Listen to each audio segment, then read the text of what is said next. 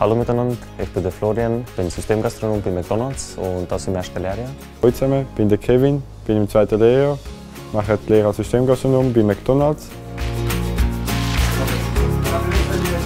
Für die Lehre bei McDonalds habe ich mich entschieden, da ich äh, seit klein auf auch bei meiner Familie im Restaurant dabei war und sowohl auch äh, allgemein in meiner Familie sehr viele Personen mit der Gastronomie zu tun haben.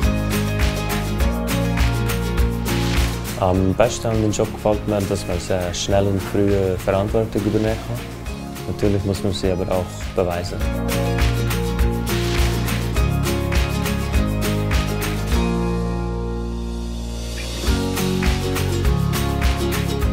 Am Morgen fange ich meistens um 8 Uhr an, tue dann Sachen vorbereiten, wie zum Beispiel Küche, Kasse.